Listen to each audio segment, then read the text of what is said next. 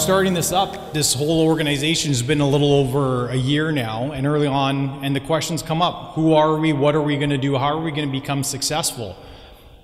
So, something that we want to do is how can we have something uh, tangible to present to the group? How can we provide some quality and information for you to actually be here today? How can we move the industry forward as a group?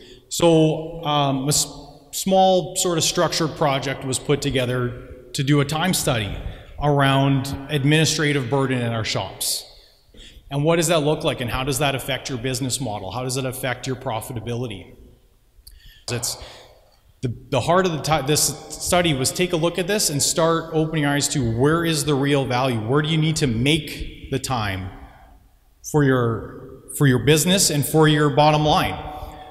The neat thing we came down to as well at the very bottom we uh, the key metric at the bottom was how many hours per thousand dollars an hour. It's just over an hour of administrative work for every thousand dollars on that repair order.